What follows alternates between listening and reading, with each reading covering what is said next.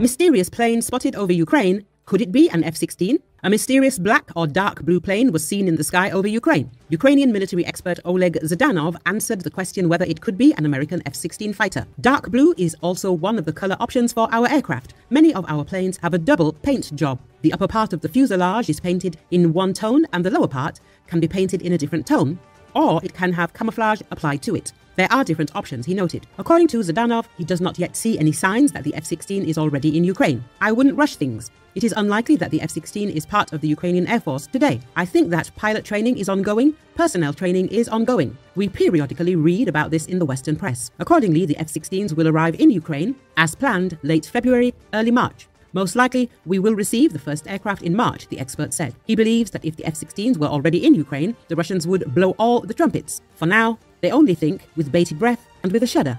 Live with the thought that F 16s are about to appear here.